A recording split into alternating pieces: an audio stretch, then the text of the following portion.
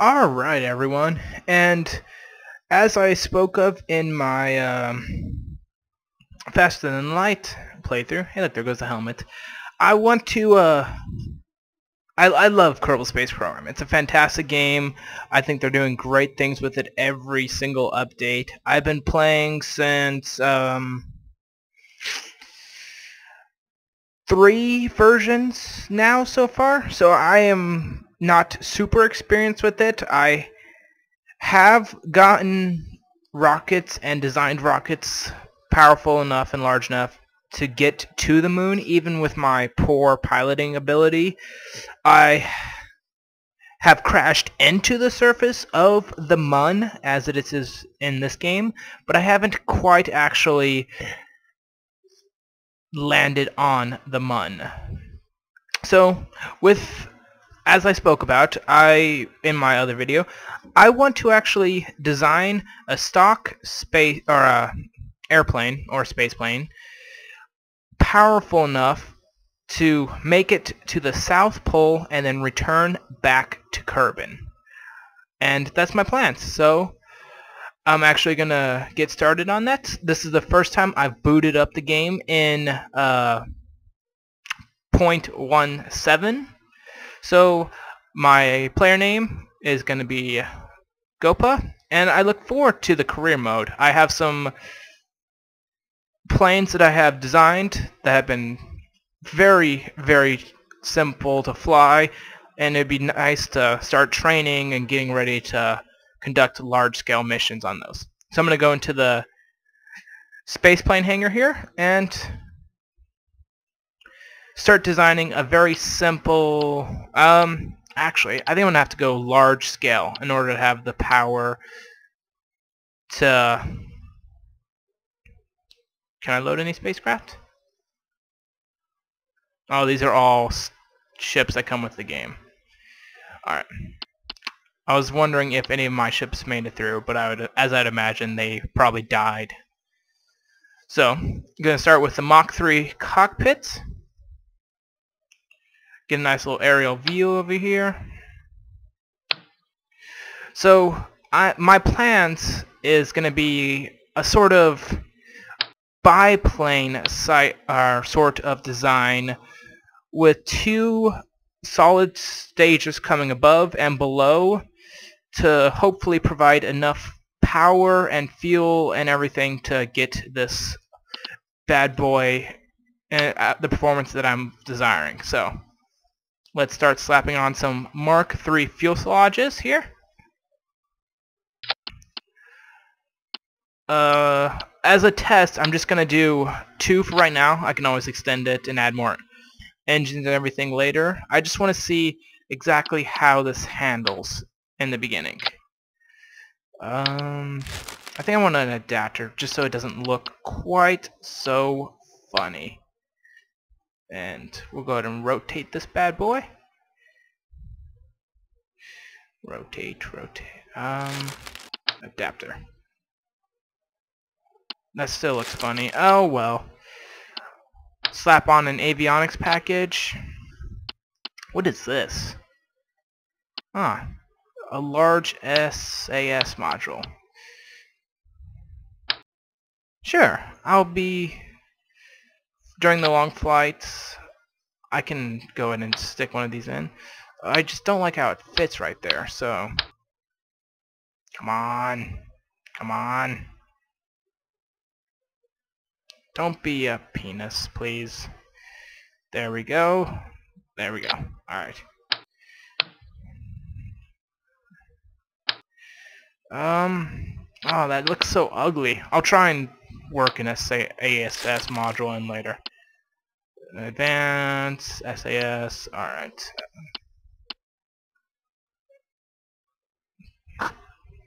As I punch my microphone. Once again, I think that's gonna be... Huh. Rocks... Hmm, that might actually make it so it's not so ugly, except it's gigantic. Hmm, yeah, I'm just gonna stick with the ugly. We'll just not look at the front of the the ship. Maybe, actually. There we go. Um, yeah, just don't look at the front of the ship, people. It's ugly. I know it's ugly. I don't like how it looks either.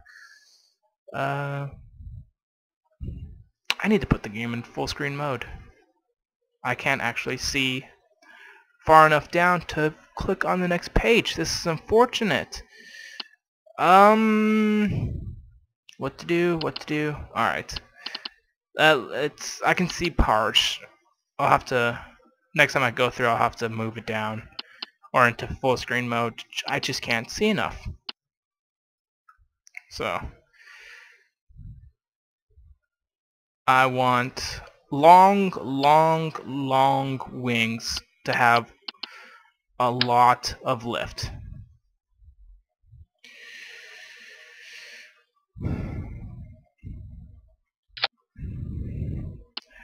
That's going to be the second point of this plane. It needs, it's going to need lift coming out the wazoo because it's going to be so heavy.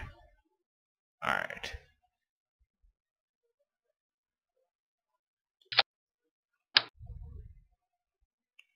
Try and make everything look nice and nice and even.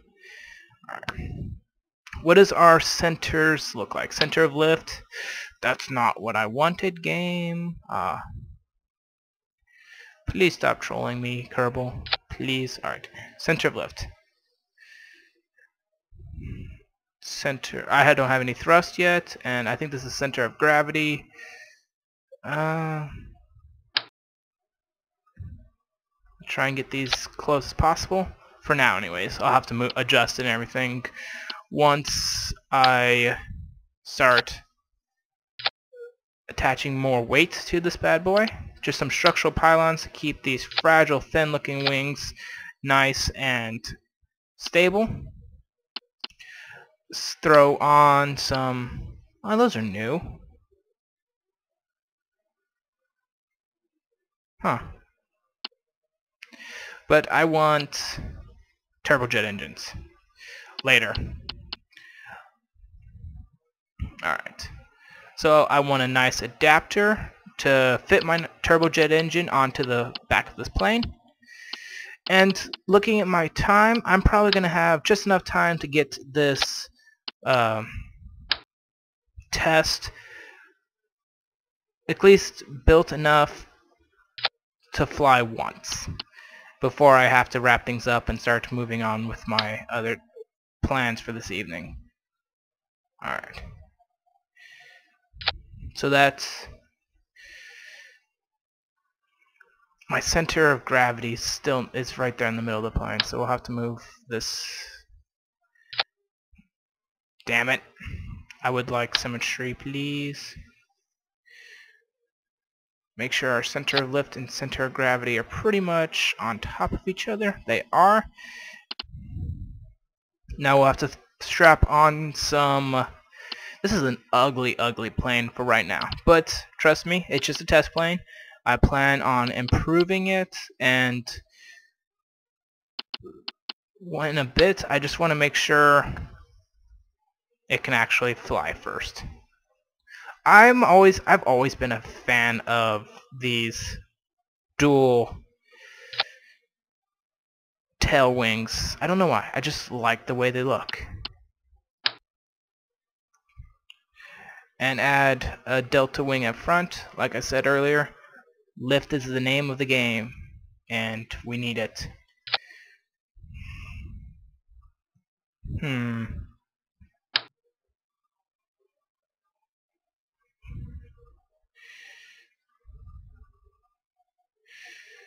Because I may end up having to glide in depending on how much fuel I consume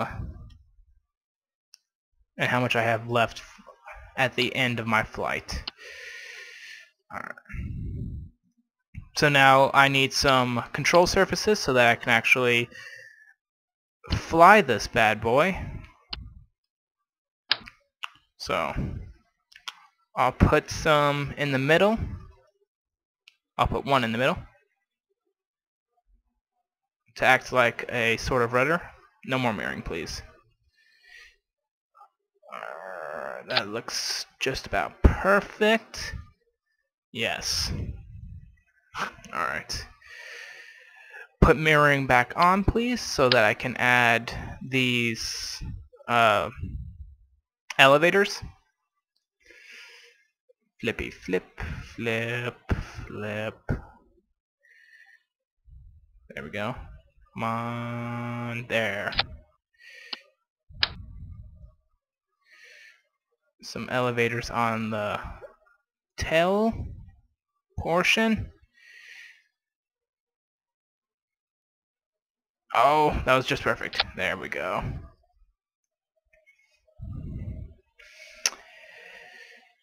And it looks like our center of gravity is just about our center of lift. Although I do believe we will need... I'm going to put some slow burning uh, regular jet engines on the on here just to ensure that we have sufficient lift capabilities. One of these bad boys. That way I can jettison my excess engines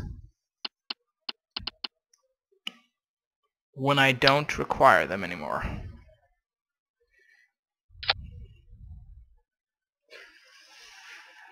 That looks good, but something tells me we're gonna I'm gonna want a bit more oomph. So another set of engines probably will be required. Alright. And Mark 1 fuselage with jet fuel. Please give me. Thank you. Alright. How does that look? Oh, beautiful. It's almost perfectly centered. That's exactly what I want, I believe. I'm not actually that confident. I did read up a little bit on the center of thrust and center of lift, but it, I, as this is the first, you guys seeing it here, will be the first time I've seen it. So again, I don't quite know. And I think that looks good. These engines are a little angled. I don't know how that's going to perform the or influence the performance of our flight, but we're going to go ahead and give it the good old spaceman try. So, landing bay, on the, that small compact frame and everything, I could get to uh, the continent across the sea with plenty of fuel remaining and still have uh, a nice flight or uh, have enough for maneuverings. I just never actually did anything with it because I got busy with schoolwork and everything. But I do plan on just having another set of sideways landing gear, that way to keep it from tipping. Alright, I'm going to title this one Southern Express. Save it. Mark 1 actually. Mark 1. Save it and let's see how this performs. I'm going to actually stop recording here until it loads in because I am rendering out my faster than light video as doing this and it's taking away a little bit. I'm only pulling 12 frames here sitting in the building platform. So, Alright, well I'm loaded in and looking at this something tells me I'm not quite gonna fly. We are uh, tilted quite severely.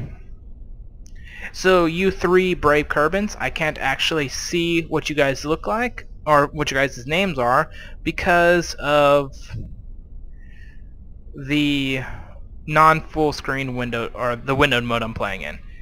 And as expected, trying to render and record is not doing too well. So you guys get to live for now.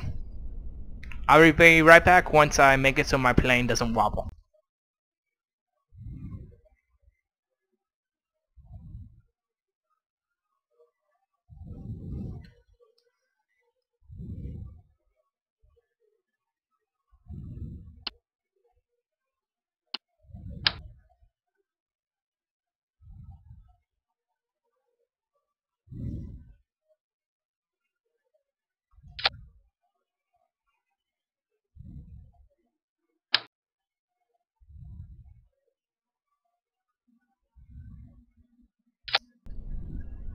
Alright everyone, it seems to be loaded in, but my frames are still very, very bad. So I'm gonna actually not record the liftoff, and I will be with you guys once we are in, in air. Thank you, and I'll see you in a second. Okay, well, for those of you who were expecting to see me in air, I went back and made a quick design change. I moved this rear engine to the back because as it flew, or when it finally took off, it did a quick roll and smashed into the ground. So I also added some parachutes to try and ensure my Kerbals' lives. Doubtful. And I'm going to add some wings at the very end to try and increase lift in the back without causing this crazy roll thing in the back to try and help balance out the plane. So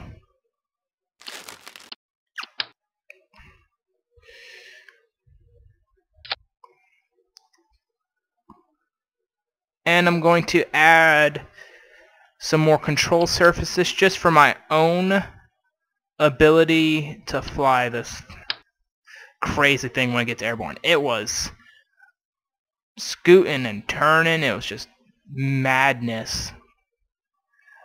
At one point I was throttled completely down trying to save it. It was just insane.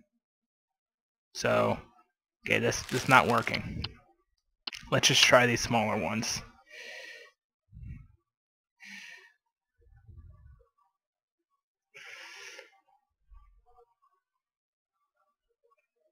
Okay, no control surfaces. But while I was thinking, I might actually be able to get away with adding an a uh, SAS module in the back, followed by the engine, and just routing fuel lines to it.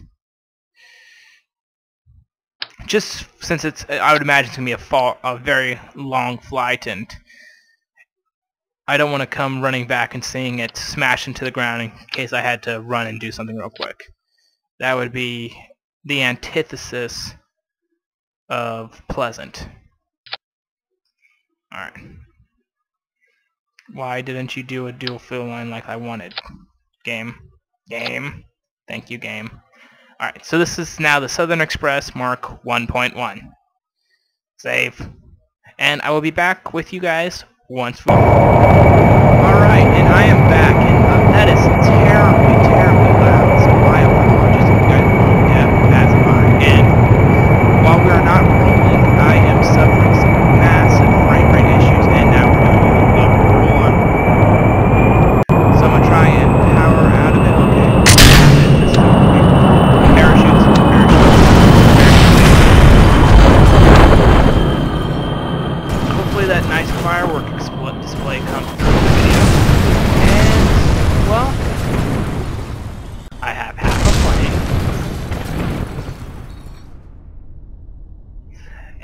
Kermans are all ecstatic to be alive. They're loving it. So I think I'm gonna start the recording when I've reached level 5. However, unfortunately, I think I'm only gonna have enough time here for one more video or one more attempt at this. So I'm gonna leave off right here with this lovely view, and I will be right back. Alright, and we are airborne. Well everyone, after um quite a bit of over-engineering and everything, this is what I'm left with. Even the slightest correction sends me into this crazy, spinning vortex of death. Even with SAS doing everything it can, it's it's insane just watching this thing. It's been going for about three minutes now just doing this. About 5,000 meters, now I'm around 300, and it just flopped around like a fish out of water. I... Please leave a comment or something. I'm gonna take another look at it. I'll try and reduce... What I think is the problem, it has too much for uh, thrust above the center of gravity, and it does that loop backwards loop-de-loop. Something maybe if I had another engine or if I shifted the engines back a bit away from the fore of the plane. I don't know. I'll have to take a look at it. I I gotta go work out. It's I'm running out of time. I gotta eat uh, and everything tonight. So thanks for watching, and I'll be back when I get another chance. Probably not tomorrow. I have tomorrow's my busy day. Maybe no, not probably it's gonna be Saturday before I can get another video up. Alright, thanks everyone. Bye.